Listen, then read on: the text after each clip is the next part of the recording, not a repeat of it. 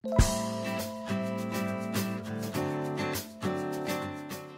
ปิดโฉมหน้าพี่และน้องสาวแท้ๆของนนกุลที่ไม่ค่อยได้ออกสื่อ หน้าตาดีกันทั้งบ้าน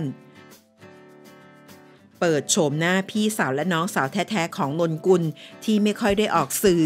หลายคนอาจจะยังไม่เคยเห็น หน้าตาดีกันทั้งบ้าน เรียกได้ว่าเป็นอีกหนึ่งคนที่ถูกจับตามอง ในเรื่องความสัมพันธ์กับนางเอกสาวแอปทักษออน สำหรับนักแสดงหนุ่มหล่อหน้าตี นนกุล ที่หลายคนต่างคาดเดากันว่า หนุ่มคนนี้อาจจะเป็นตัวจริงของสาวแอปหรือเปล่าสำหรับนนกุลเป็นนักแสดงชายชาวไทยที่มีผลงานการแสดงทางภาพยนตร์ ซีรีส์และละครมากมาย ซึ่งมีชื่อเสียงจากภาพยนตร์เรื่อง ฉลาดเกมโกง ในปี 2560 โดยผลงานดังกล่าวทำให้เขาได้รับรางวัลพระราชทาน พระสุรสวดี รางวัลภาพยนตร์แห่งชาติสุพรรณหงษ์และรางวัลภาพยนตร์ไทยชมรมวิจารณ์บันเทิง สาขานักแสดงนำชายยอดเยี่ยมประจำปีนั้น